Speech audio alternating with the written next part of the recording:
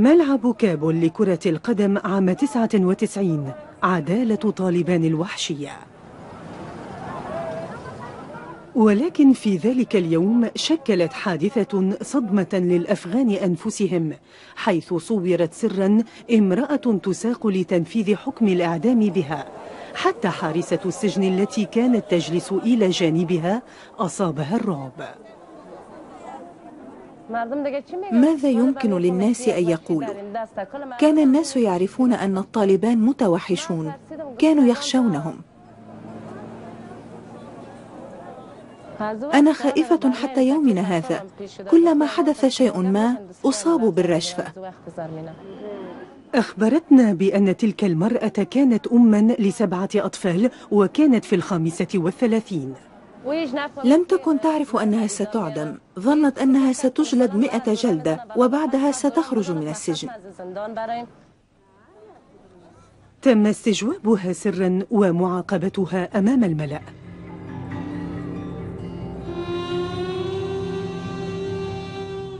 يريد الفريق اكتشاف القصة الحقيقية لتلك المرأة وراء البرقع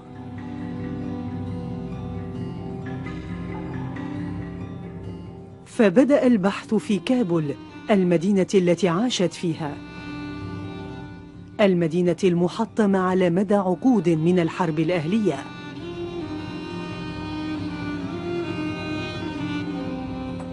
يقاد الفريق إلى هنا.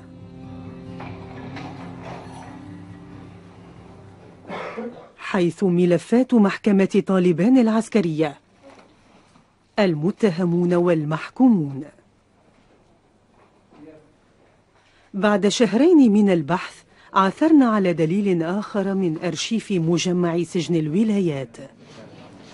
وجدنا ما كنا نبحث عنه.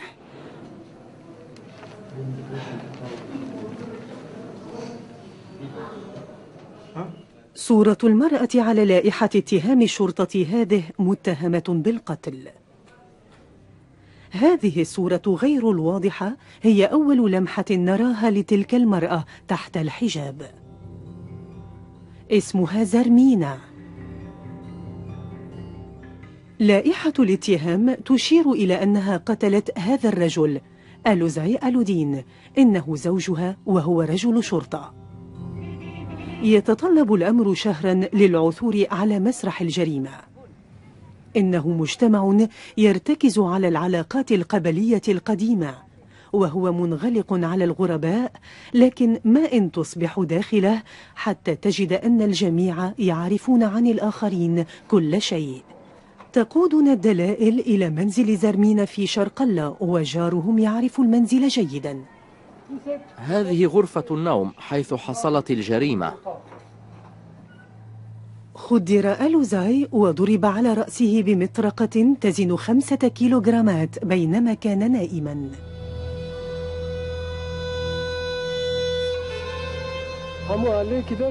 في هذه البئر تم إلقاء سلاح الجريمة وهو مطرقة.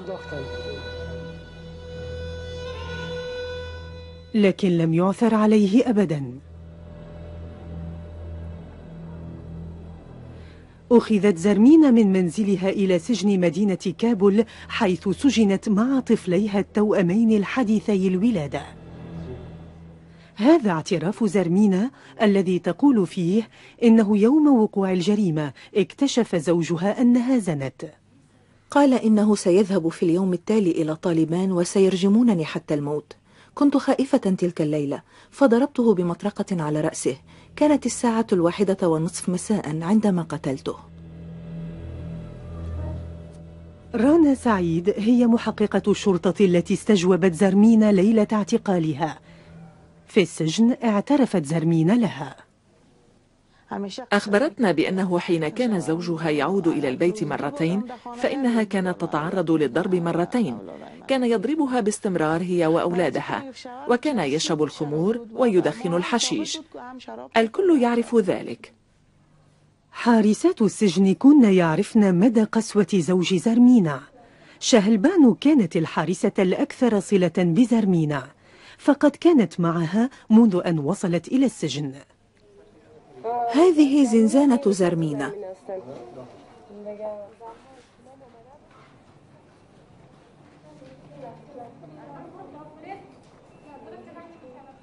كان عمر الطفلين ستة أشهر عند مجيئها إلى هنا. هنا كانت تنام. أمضوا ثلاث سنوات في هذه الغرفة. لقد عانى التوأمان في السجن. كان الوضع سيئا لأنهم أحيانا لم يحصلوا على الطعام فالكمية كانت قليلة بالنسبة إلى ثلاثة أشخاص لم يحصل على ما يكفي من الطعام للنمو.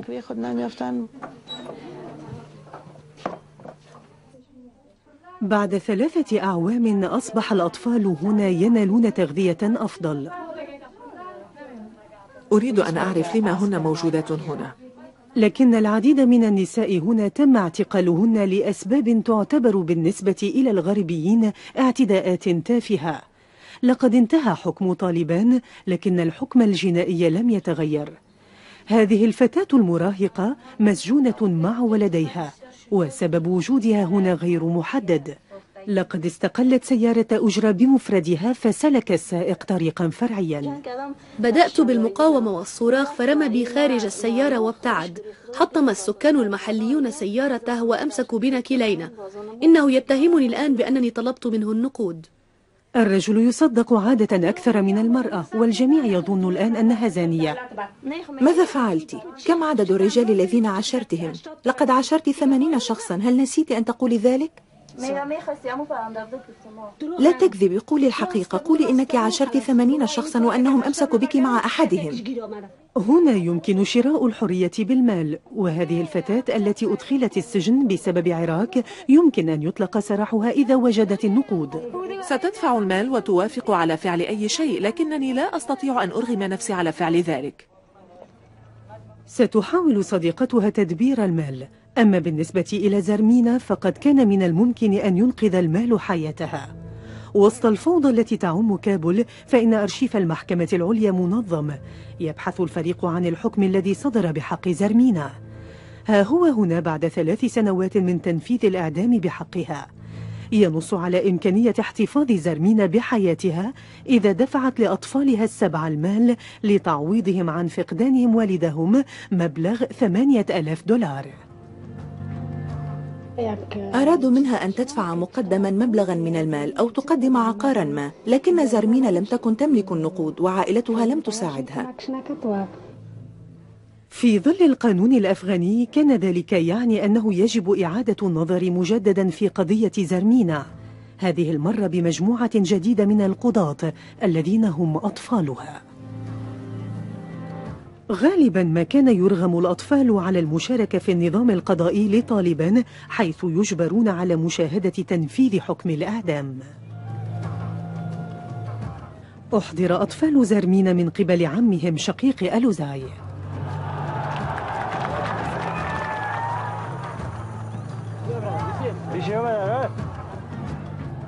والدة زرمين كانت شاهدة على ما حدث.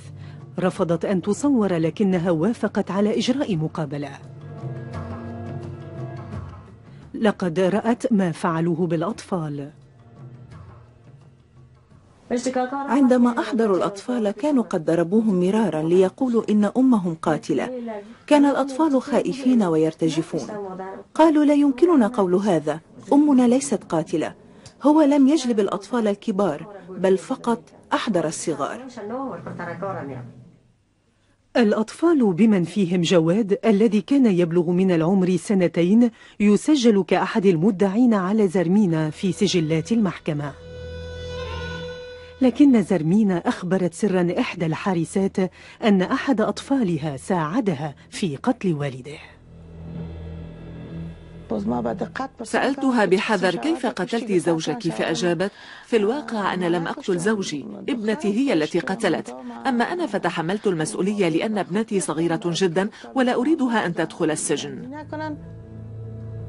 لم تذكر زرمينا شيئا عن ابنتها. أولادها أدنوها وكانت عاجزة عن دفع المال وهي الآن تواجه تهمة جديدة. الزنا.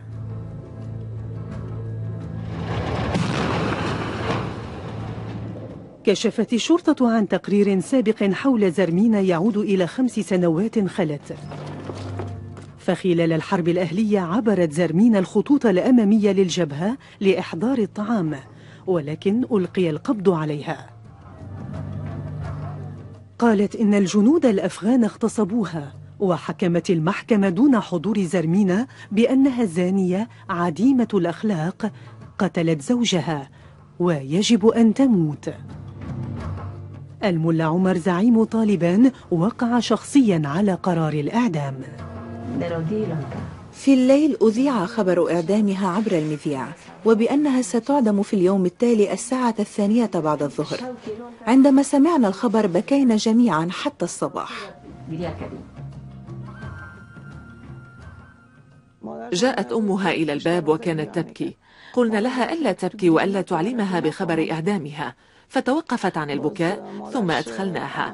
فقالت لي زرمينة أن تذهب وتستعد لأنها ستجلد اليوم ومن ثم سيطلق سراحها.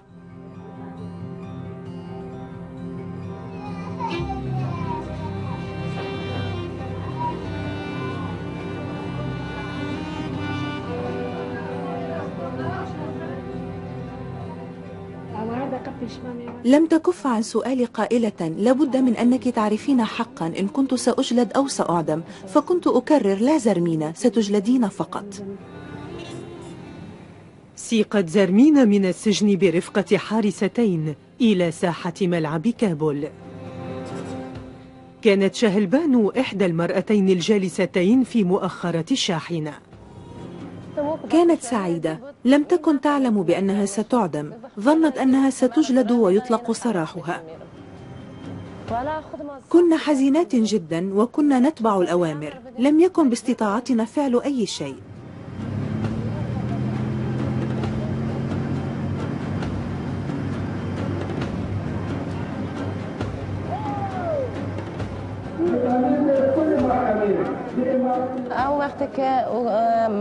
كان القاضي يعلن حكم الإعدام وعندها فقط علمت بالأمر. علمت بأنها ستعدم عندما كانت في الشاحنة.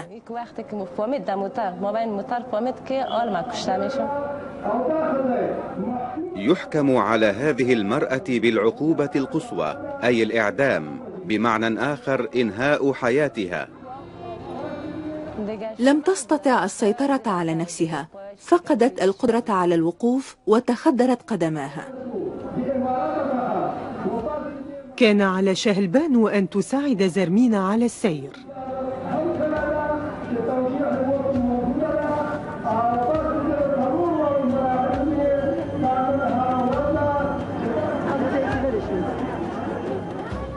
فجأة رأيت رجلا مقنعا من طالبان يرفع بندقيته فشعرت بالخوف وهربت.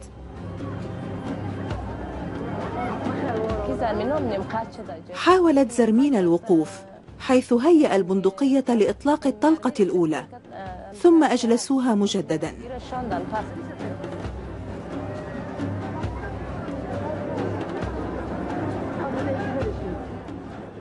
وعندها رأت الجلاد الذي سيعدمها.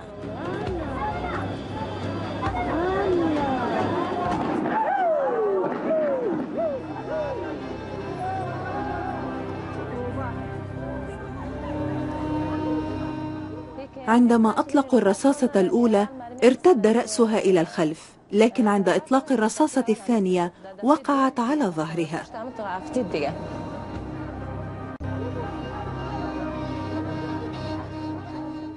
أمام الآلاف ماتت وحيدة تركت وراءها سبعة يتامى ولكن أين هم؟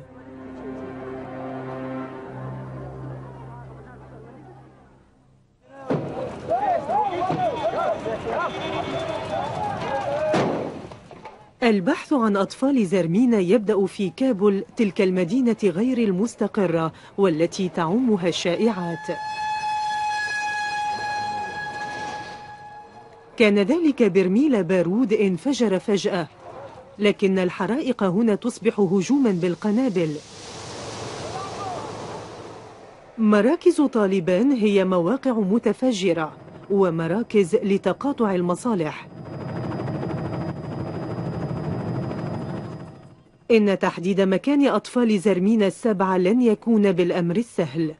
أخذ منها اثنان في اليوم الذي أعدمت فيه ويقال إن الخمسة الآخرين وزعوا بين الأقارب. أطفال زرمين في مكان ما هنا. يقال إنهم قد يكونون يبحثون عن طعامهم بين النفايات أو مشردين. يتطلب الأمر وقتا لإيجاد مدخل إلى العالم المنغلق والخاص بالعائلات الأفغانية. لكن المترجمة المحلية مينا ستقوم بالمساعدة إنها تعرف المسموحات والمحاذير هنا تقول قريبة إن بعض الأطفال قد يكونون تحت رعاية عمهم لكن كيف السبيل للعثور عليهم؟ هناك ما يمكن أن يرشدنا إلى شقيقة زوج زرمينا النساء يرغبن في الحديث إلينا لكننا لا نريد التسبب بالمتاعب بتصويرنا علنا. توافق شقيقة زوج زرمينا على التحدث إلى شقيقها عم الأطفال. لكنها لا تستطيع أن تعيدنا بشيء. عائلة زرمين كانت أقل تعاونا فقد شب نزاع مع العم فيما يخص الوصاية على الأطفال بالإضافة إلى أنهم نقلوا مكان سكنهم. يبدو أمر العثور عليهم شبه مستحيل. اصطحبنا أحد الأقارب على مضض إلى منزل ما إنه منزل شقيقتها. لقد بقي بعض الأطفال مع أقارب زرمينا خلال أعوام سجنها الثلاثة. قد يكونون هنا. شقيقات زرمينا يعلمن بشأن اثنين من الأطفال ابنتاها الكبيرتان اللتان كما يقولون زوجهما عمهما. لكنهن على علم بسر ما. إنه المكان الذي دفنت فيه زرمينا. لقد حطمت جمجمتها وملابسها مدمات. إنهم لم يغسلوها لأنها ماتت بطريقة شائنة.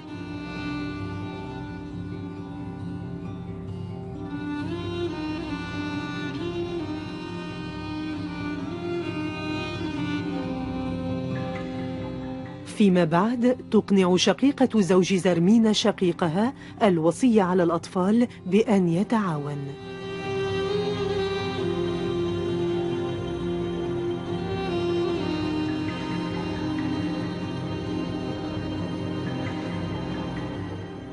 إن لم يكن يعرف مكان الأطفال فليس هناك مكان آخر نبحث فيه.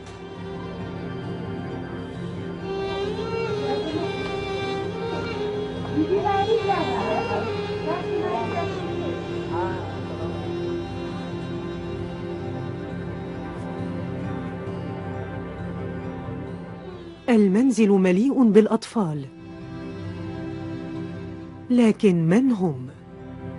لمن ينتمون؟ زوج زرمين المتوفى ألوزاي ينظر من الصورة التي على الحائط إلى بعض أطفاله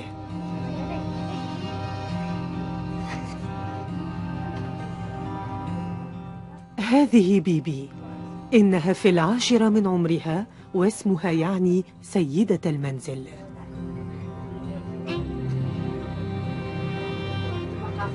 جواد في الخامسة صغير الحجم بالنسبة لعمره. كان أحد التوأمين اللذين احتجزا مع والدتهما في السجن. ويوم أعدمت أخذا منها. فتى يعد الشاي إنه ابن زرمينا هواد في الثالثة عشرة من عمره. قيل لنا إنه الأكثر شبها بوالدته.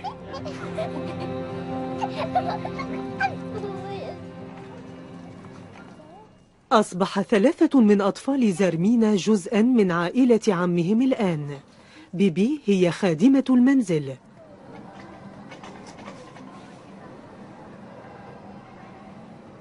جواد يساعد شقيقه هواد في رعي الماعز.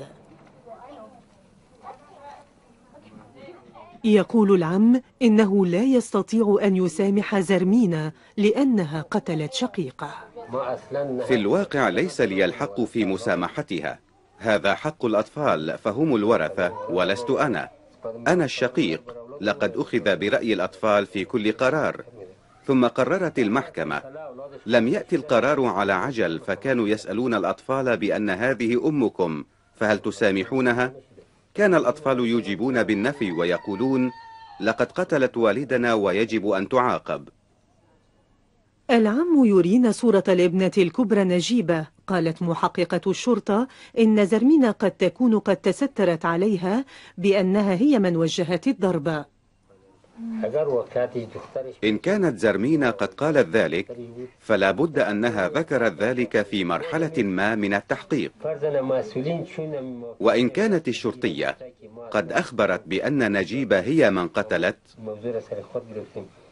فبما أنها شرطية كان عليها أن تفعل شيئا.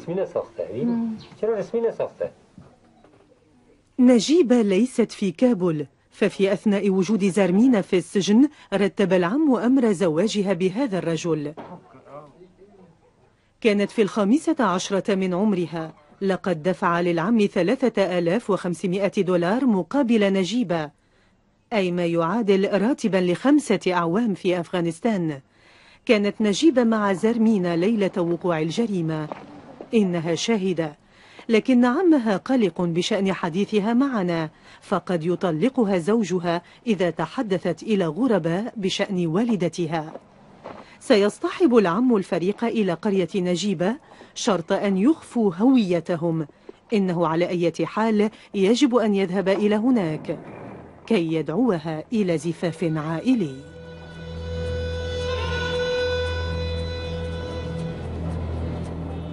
تعيش نجيبة مع زوجها في قرية تبعد حوالي ثلاث ساعات جنوبية كابول.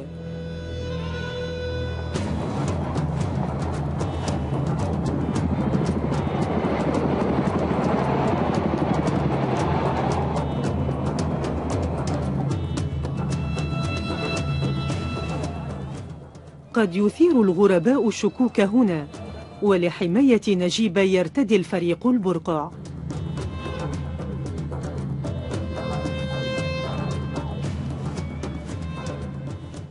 وبما أنهم ضيوف العم فيعاملون كأفراد العائلة. نجيبة هي الزوجة الثانية. يسمح له بالزواج من أربعة. وعليها أن تطيع أوامر الزوجة الأولى. النساء يقولن إن نجيبة خادمة البيت. إنها تعرف ماذا حدث ليلة مقتل والدها لكنها لا تستطيع الكلام. على انفراد. ضغط عليها لكي تأتي إلى كابول لحضور زفاف ابنة خالها. قد تستطيع الكلام هناك. لكنها بحاجة إلى إذن زوجها لمغادرة المنزل. ليس هناك ما نقوم به الآن سوى الانتظار. عودة إلى كابول حيث ابنة أخي زرمين على وشك أن تتزوج. يقال إن اثنين من أطفال زرمين قد يكونان هنا. منع الطالبان النساء من الغناء والرقص خوفا على عفتهن التي يجب أن يحتفظ بها للرجل. كل ذلك قد تغير الآن. لكن حتى الآن تتعرض النساء للموت أثناء الولادة أكثر من أي مكان آخر. فهناك احتمال موت طفل واحد من بين كل أربعة أطفال قبل سن الخامسة. بيبي وهواد وجواد جميعهم حاضرون في حفل الزفاف. بالإضافة إلى اثنين آخرين من أطفال زرمينا. ميلاد هو شقيقهم في الحادية عشرة من عمره وتوأم جواد سلسلة. هي أيضا أمضت طفولتها المبكرة مع زرمين في السجن. وهي أيضا أقل حجما من عمرها إنهم يمررون على الأقارب.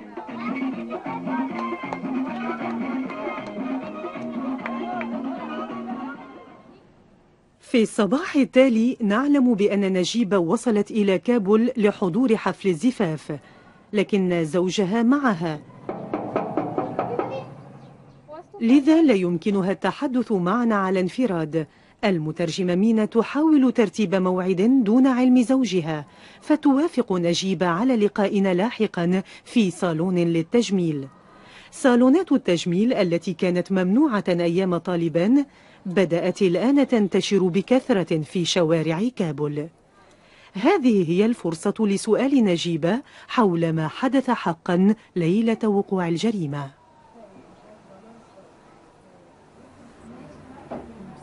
أحدهم أخبر والدها بأن زرمين عاشرت رجلا آخر. أخبرتها بأنه سيقتلها إن هي ارتكبت عملا خاطئا وبأنه سيضربها بعصا غليظة لأننا أفغان. فأجابتني ماذا علي أن أفعل؟ إن جسدي يرتجف. من جهة كنت أقول لنفسي فليقتلها والدي فهي تمارس الزنا. ومن جهة أخرى أردت مساعدتها لأنها أمي. نجيبة تذكر ما حدث ليلة الجريمة. رأيت والدتي تسير في الباحة وكانت متوترة. دخلت المنزل وتحدثت معنا ثم آوت إلى فراشها. كانت الساعة تناهز الواحدة أو الثانية ليلا عندما أيقظتني والدتي قائلة انهضي والدك غارق بدمائه. كان جليا أنها ارتكبت الجريمة بنفسها. عندما رأيته غارقا بدمائه فقدت السيطرة على نفسي وأصبت بالهستيريا. فهرعت إلى أمي وأمسكتها من شعرها وصرخت. أكان من الضروري أن تفعلي ذلك وتجعليني يتيمة. كان بإمكانك الاختفاء وحسب. قالت إنها ستذهب لاستدعاء طالبان. فقلت إنه لا يمكنها أن تفعل ذلك. أجلستها وأحكمت إقفال الباب. أخبرت زرمين حارسة السجن بأن نجيبة ساعدتها في ارتكاب الجريمة فنجيبة هي التي سددت الضربة القاضية هل كانت الجريمة مخططا لها؟ هل كان لأمها شركاء؟ لا لا ارتكبت ذلك الفعل السيء لأنها كانت تخاف من أن يقتلها والدي. لهذا السبب كانت قلقة. لقد تخلصت منه نهائيا لكي ترتاح منه إلى الأبد.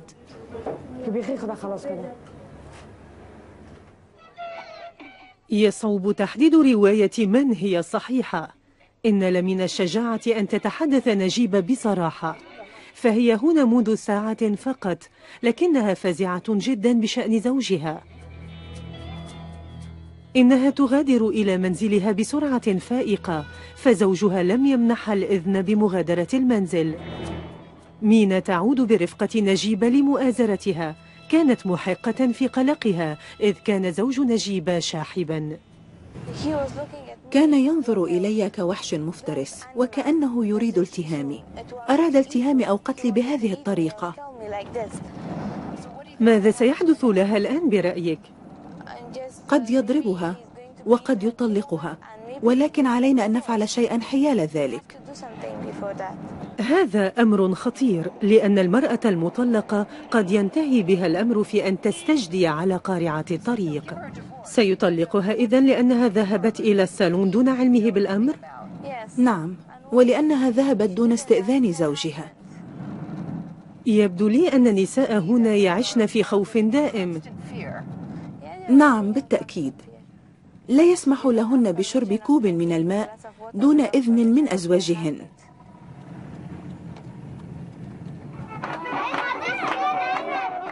في المنزل نلتقي نجيب حيث يقول أفراد العائلة إنها عوقبت بسبب المقابلة التي أجرتها في صالون التجميل. لن تنضم إلى العروس التي تحتفل في الخارج.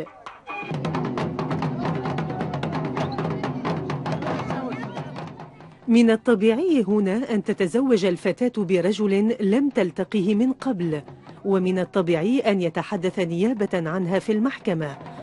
وأن تكون كلمته هي الفصل.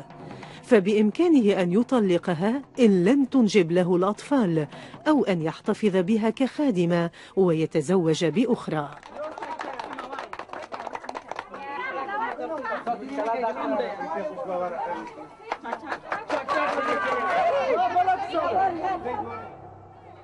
تم تقفي أثر جميع أولاد زرمينا. التوأمان جواد وسلسلة اللذان يبلغان الخامس من العمر. بيبي في العاشرة من عمرها.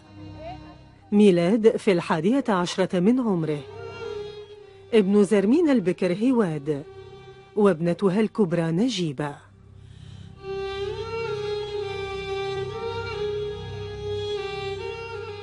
جميعهم موجودون عدا واحدة هي بصيرة. آخر مرة رآها فيها إخوتها كانت قبل ثلاث سنوات عندما بيعت لكي تتزوج.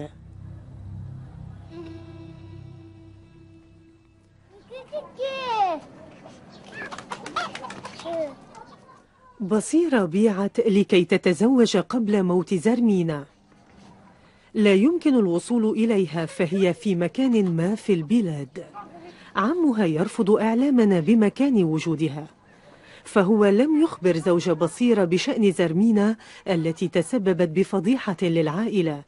حاليا الطريق مسدود. اختفت بصيرة بين صفوف النساء الأفغانيات. المجتمع هنا ما زال محافظا. لا يسمح للنساء برفع براقعهن. يتبع فريقنا المترجم مينا إلى السوق. إنها إحدى النساء القلائل اللواتي لا يرتدين البرقع. الجميع يقول إنه أمر اختياري لكن حتى المخرجة ليست محصنة ضد العدالة القاسية.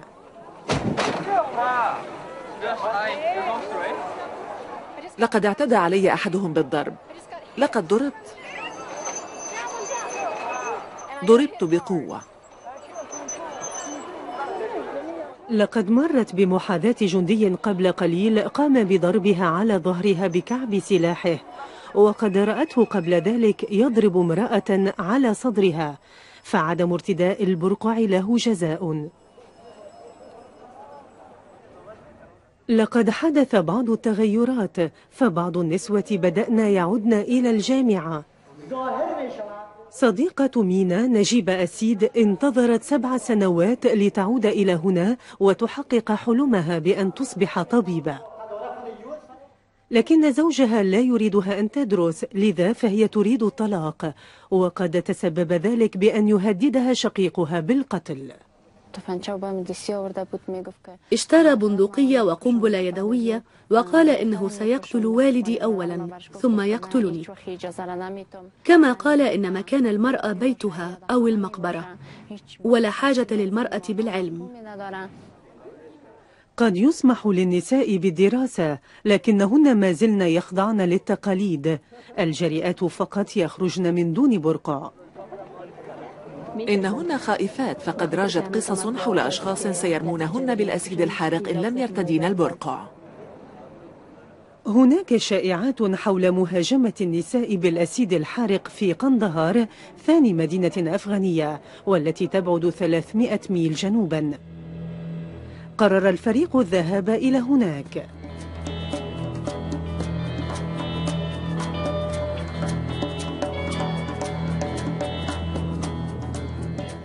في عهد نظام طالبان السابق تسبب الأمريكيون بما يكفي من الأضرار.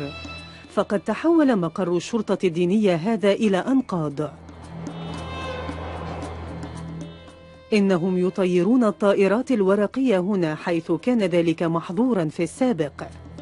ولكن لا تزال هناك بعض النسوة في الشوارع. يوجد هنا الكثير من المؤيدين لطالبان الذين لا يرغبون في عودة النساء. مكتوب هنا لا تلجأ إلى المجلس الوطني وإذا لجأت إليهم فستكون مسؤولا عن العواقب. نفيسة كوشال هي إحدى أوائل النساء اللواتي يشاركن في التنظيمات السياسية وقد كوفئت بتوجيه تهديد بقتلها. إنها تؤمن في عيادتها رعاية الطبية للنسوة وقد التقت بضحايا شتى أنواع العنف. هذه المريضة قطعت أذنها وعائلة الفتاة رفضت البوح باسم الفاعل. كانوا خائفين ولم يقولوا من فعل ذلك وهذا يعني أن المعتدي هو أحد الأقارب ولذا فهم خائفون. المشكلة لا تكمن في طالبان فهناك ثقافة عنف كامنة ضد المرأة. الرجال يضربون النساء ويعذبونهن. هذه هي الحال في جميع أرجاء أفغانستان وخصوصا في قندهار.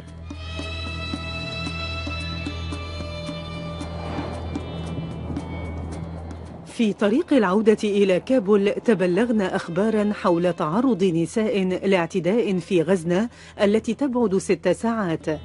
وقع الاعتداء في مدرسة للفتيات أعيد افتتاحها حديثا بعد سبع سنوات. كانت أزدى عائدة من المدرسة إلى البيت عندما ظهر فجأة خلفها رجل يحمل أسيد بطارية. أراد أن يرميه على وجوهنا لكنه لم يصبنا فرماه على ظهورنا. أصاب الأسيد صديقتي كانت تصرخ وتمزقت ملابسها. أصاب الأسيد وجه صديقتها وهي شديدة الفزع وتخشى التكلم. هوجمت المدرسة بالقنابل. الفتيات هنا تحت الحراسة المسلحة.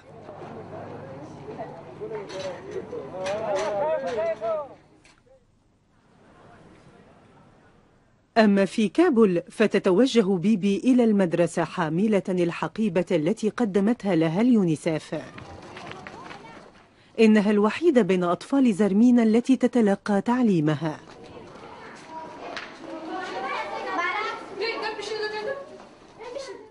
النظام الجديد يشجع الفتيات على العودة إلى المدارس لكن ثلاثة أرباع النساء أمنيات وفي كل صف ثمانون تلميذة. مدرسة بيبي بحاجة ماسة للمال.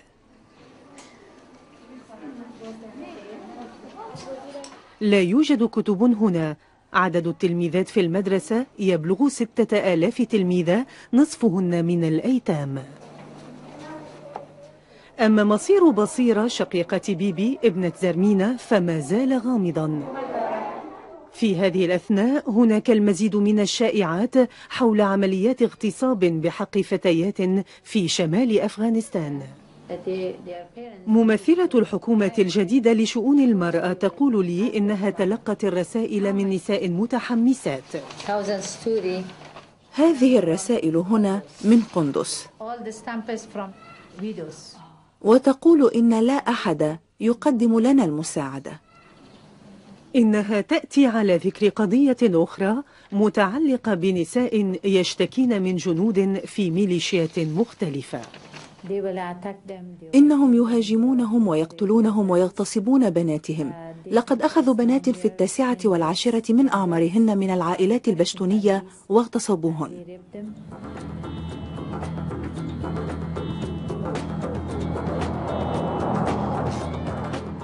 وللتحقيق في هذه القصص نتوجه شمالا ونعبر خط الجبهة القديم بين الشمال والجنوب من خلال نفق سلانج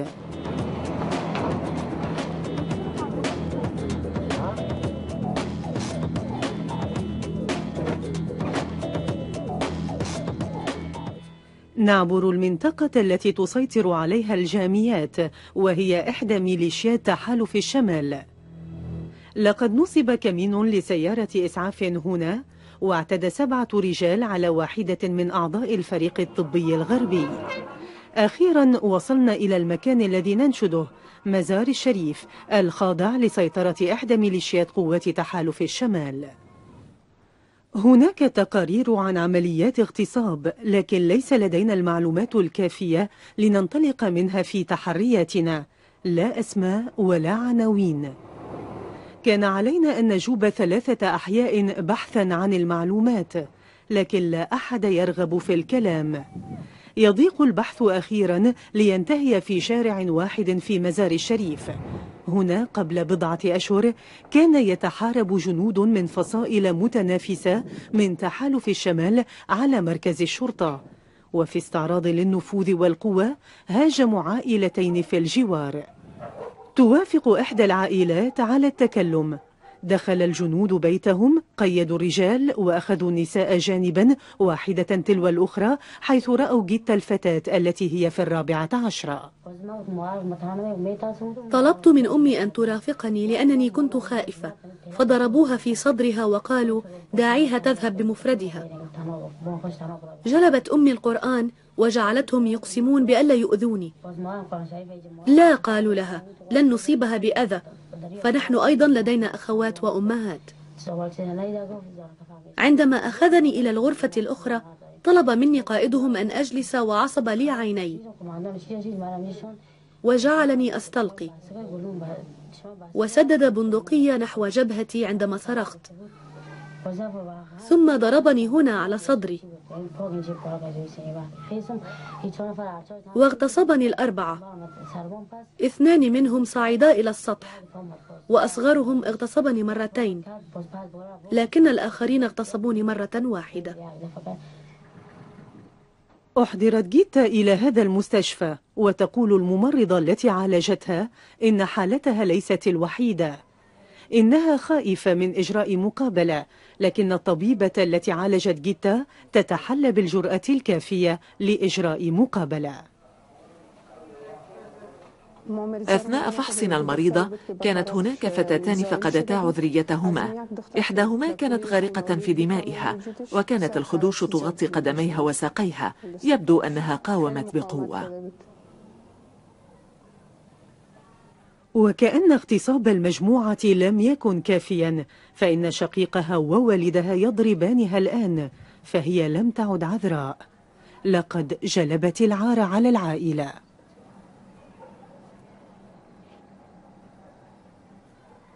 هل كان الوضع أسوأ في حكم طالبان أم حاليا؟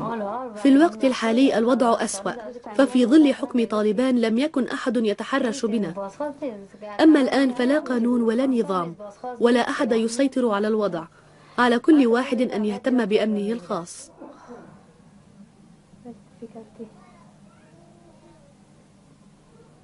تم اعتقال جنديين لاغتصابهما جيتا. لكن الاثنين الآخرين لا يزالان طليقين.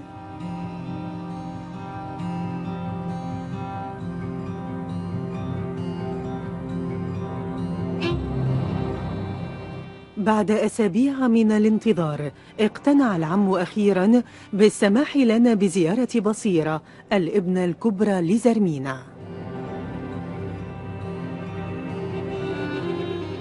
لكنه لا يزال قلقا فزوج بصيرة لا يعرف شيئا عن زرمينا وقد يطلق بصيرة إذا عرف بالأمر. تعيش بصيرة على بعد 80 ميلا جنوبي كابول وعلى بعد 60 ميلا من الحدود الباكستانية. يتوقف الفريق للحصول على الإمدادات اللازمة وهي خمسة جنود يسيرون في المقدمة حيث أكد القائد المحلي حاجتنا إليهم. قالوا لنا إنه يجب علينا ارتداء البرقع فورا لأنه بالإضافة إلى رجال العصابات تتواجد القاعدة هنا.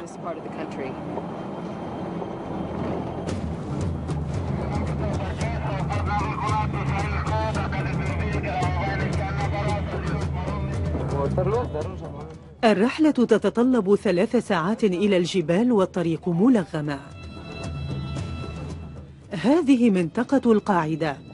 يبدو أن بصيرة تعيش مع الأعداء.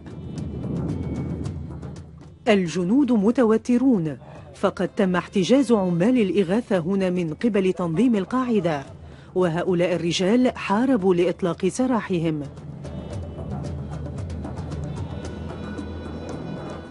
نحن نصل أخيرا إلى مكان مجهول. جاءت بصيرة إلى هنا بعد زواجها في سن الثالثة عشرة. بينما كانت والدتها لا تزال في السجن وهي لم ترى شقيقاتها وأشقائها منذ ذلك الحين. لعدم إثارة الشكوك يحرص أعضاء الفريق على إخفاء آلة التصوير لكن مينا المترجمة تحمل آلة تصوير وستدعي أنها صديقة للعائلة. ها نحن أخيرا نلتقي ابنة زرمينا بصيرة. إنها نادرا ما تستقبل الزوار وهي تسأل عن إخوتها وأخواتها وعن أمها فهي لا تعلم أن أمها ماتت وعلى مينا أن تبلغها بالخبر إنها تحاول إخفاء مشاعرها عن أقارب زوجها فهي لا تستطيع أن تخبرهم عن سبب بكائها حدث كل ذلك لأنه ما كانا يتشاجران ما الأمر؟ لماذا؟ حدثينا عن والديك. تسأل بهدوء عن العلاقة بين والدها ووالدتها.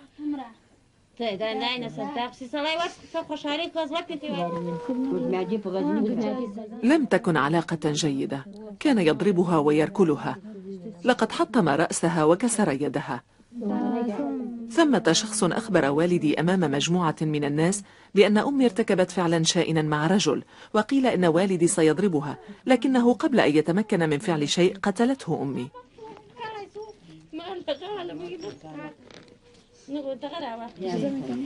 ماذا عن زواجها هي في سن الثالثة عشرة؟ هل أجبرت على الزواج؟ أجل لقد دفعوا مقابلي ثمانين مليونا وأربعين مليونا مقابل شقيقتي لقد دفعوا ثمنا لها ثلاثة ألاف وخمسمائة دولار المرأة تسأل عن شقيقتها هل وجدوا زوجا لبيبي؟ هل تزوجت؟ لا فهي ما تزال صغيرة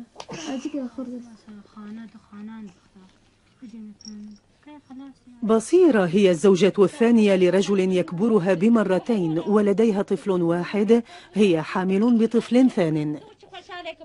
ليس من السهل أن تكون المرأة زوجة ثانية لأي رجل. إنني قلقة بشأن ذلك. تغادر بصيرة المنزل بحيث تتمكن مينا من التقاط صورة لها لتريها لإخوتها وأخواتها.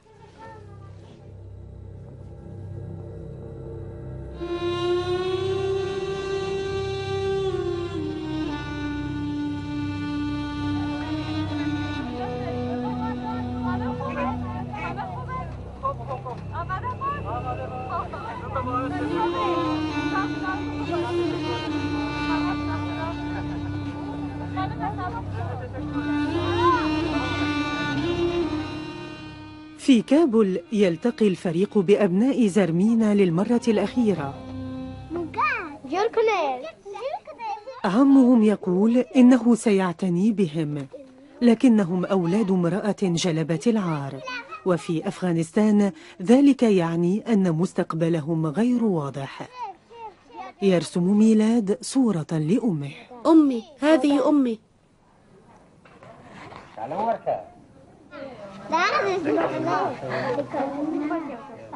لماذا ترسم هذه الصورة؟ رسمتها فحسب أتعجبك؟ نعم لو رأيتما والديكما ماذا ستقولان لهما؟ سيسعدني أن أراهما سأقول لهما لنعد إلى البيت